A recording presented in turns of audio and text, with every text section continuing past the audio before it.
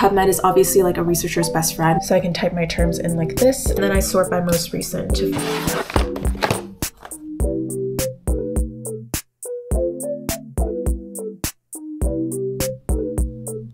Times New Romans double spaced, the 4800 words.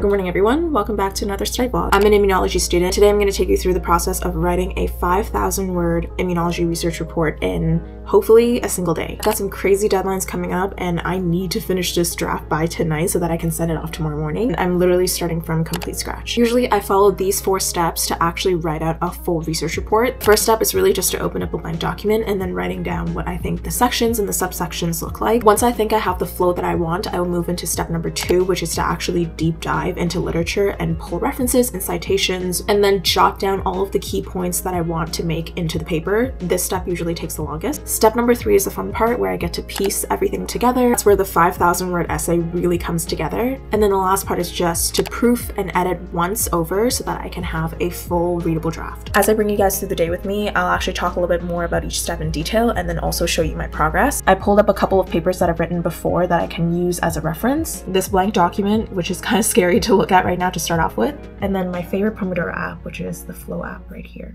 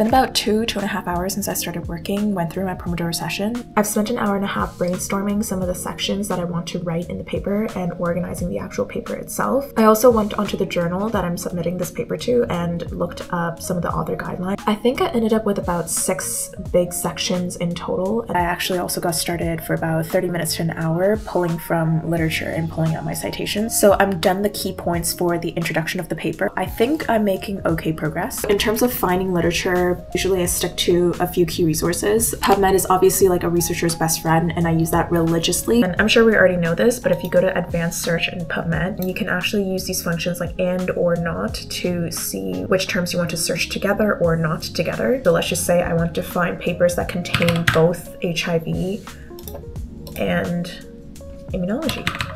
So I can type my terms in like this and then click search and then PubMed's gonna come up. And then I sort by most recent to find new and upcoming papers. But PubMed can get quite specific, maybe a bit too specific. And especially if I'm just starting to write a paper, I kind of want broader knowledge in the field to direct my writing before I deep dive into some of the specific literature and papers out there. I actually just go into Google search and just type out a bunch of keywords into the search bar and see what comes up finding relevant review papers is really useful, especially if you're just like curating your headings and then the organization of your papers. So referencing off of those is really nice. And of course, I also have my own personal database of papers that I've been using for years and referencing off of them. So I'm just pulling from different resources to make these notes. And I think from now for the next three or four hours of work, I'll just be pulling literature. Everything is still in bullet points. I don't have a single complete sentence. This phase is really just for writing down key points and almost like brain dumping onto paper so that I can sort it out out later. Okay, it's been a while since I'm working now, so I'm gonna go take a break and eat breakfast.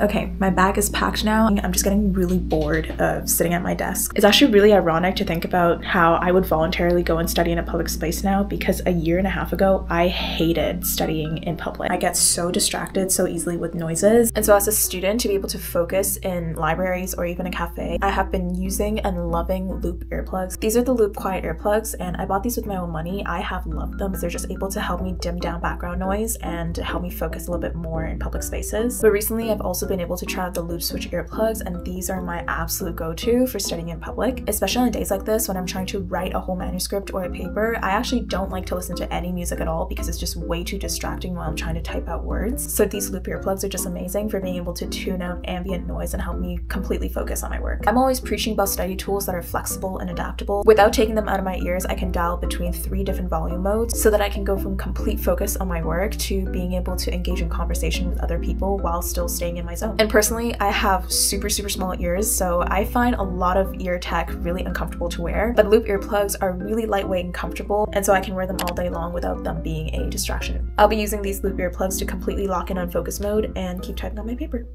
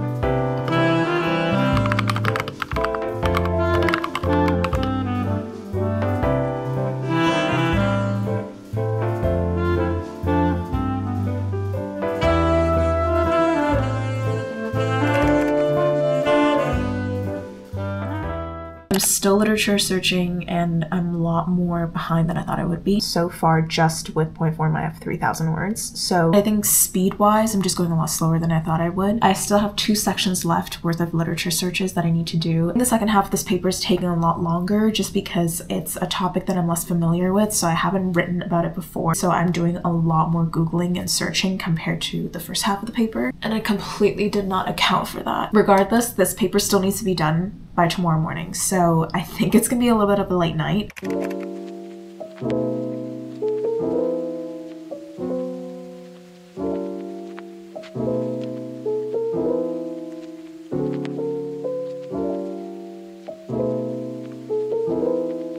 I just took a quick shower, did my skincare. I am so not in the mood to do work right now. In an effort to help with procrastination, I'm gonna curl my hair.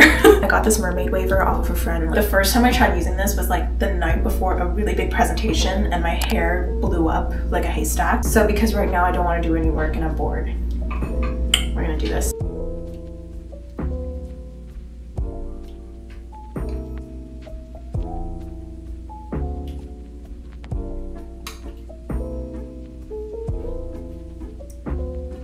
I need like different lighting. Hold on. I think this lighting is a little bit better. I don't know. Maybe it's not the lighting issue. Maybe it's just my face and my hair. Okay, I think because this is the second time I'm using this hair tool, it turned out much better than the first time. It's growing on me. I kind of like it. Okay, my procrastination is unfortunately over. I'm gonna get back to work. We left off a couple hours ago with two sections left to do lit searching on. I think I said this before, but lit searching is literally the longest, most tedious part. Just so time and focus intensive. I just get so much brain fatigue and brain fog. That's why I'm taking so many breaks in between. Okay, let's go work. We got this.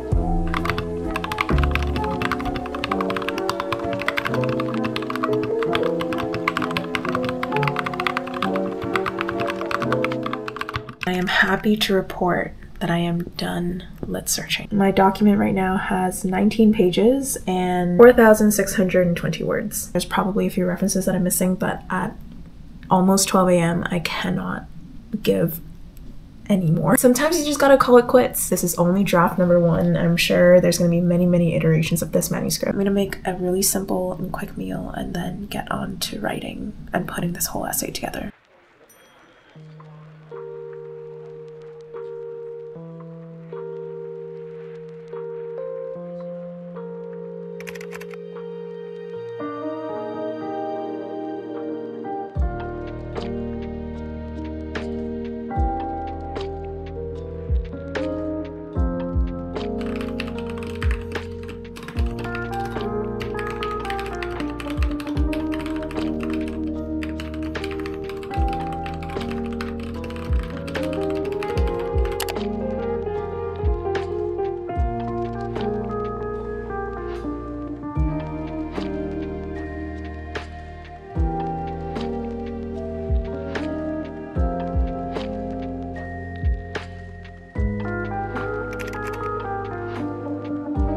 I guess right now I should say good morning again because it's almost 3 a.m. Actually, I'm a little bit surprised that I got it done. I mean, there's not really a lot of interesting things to show you. This is my entire doc. 12 point font, Times New Romans, double spaced, the classic, 4,800 words. Just shy of 5,000, but 5,000 words is actually the limit and not the minimum. So I think I spent a total of two and a half hours just putting the entire manuscript together from bullet points. I ate my dinner pretty quickly to not waste time because I really want to go to bed. There's still one thing that I need to do that I didn't get to, which is doing like a first glance and doing the first round of edits, or in other words, copy editing it. I think it's a little too late for that now, so unfortunately will just have to leave it for tomorrow. It's usually a one hour process, it doesn't take that long, but when it's three in the morning, I don't want to work until four in the morning, so I'm gonna call it quits here.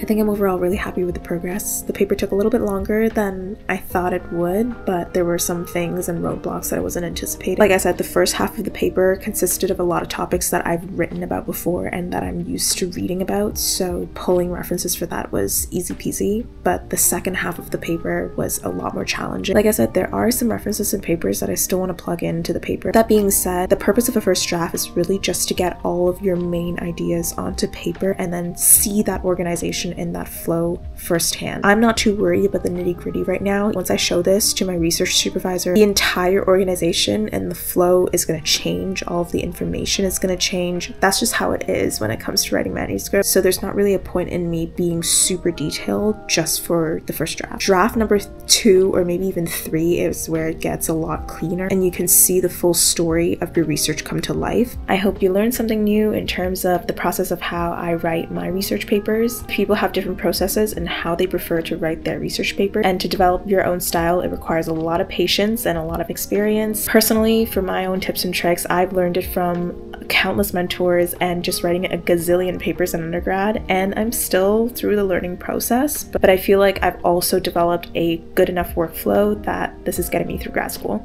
Anyways, thank you so much for being here. I'm tired now. I'm gonna go to bed. I hope you had an equally productive study day, and I'll talk to you next time.